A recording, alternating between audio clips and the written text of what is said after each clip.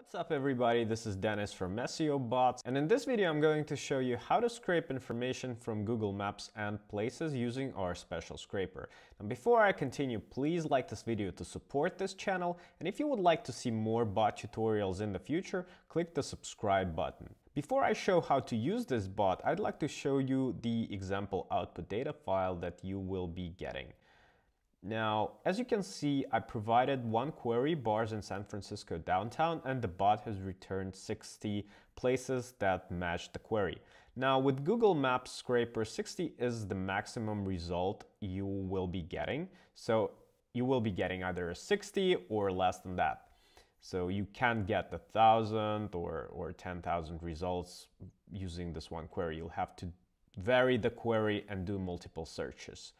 Um, Okay, as you can see, what the bot returns is a lot of data points that are related to the uh, location, and that includes Google Maps URL, place's title, rating, rating count, category, address, uh, website, phone number, opening hours, and other loca location related information.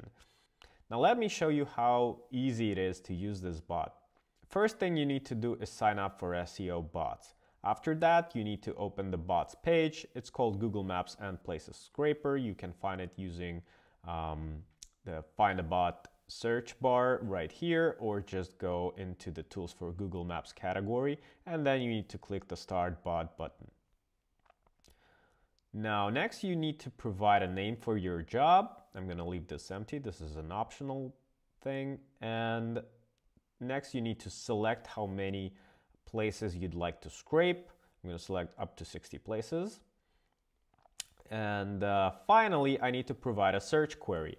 Um, let's look for hotels Manhattan. I'm going to disable notifications and finally click the Start this bot button. As you can see, the process is now created and is active. I fast forwarded the video, but you can see that it took a little less than one minute for the bot to scrape the data we needed. Let's have a look at it. Okay, 60 hotels are here. And as you can see, all the other information is also here, including website URLs and their phone numbers, which can be great for lead generation. Speaking of lead generation, of course, you can experiment and enter different search queries such as a lawyer Manhattan, um, maybe a criminal lawyer Manhattan, or something like that. By varying different queries, you can vary the results that the bot will scrape for you, which will result in more phone numbers and more websites and more potential leads. Now, this is practically it. If you have any questions, drop them in the comments below. And don't forget to like this video and subscribe to our channel. And I'll see you next time.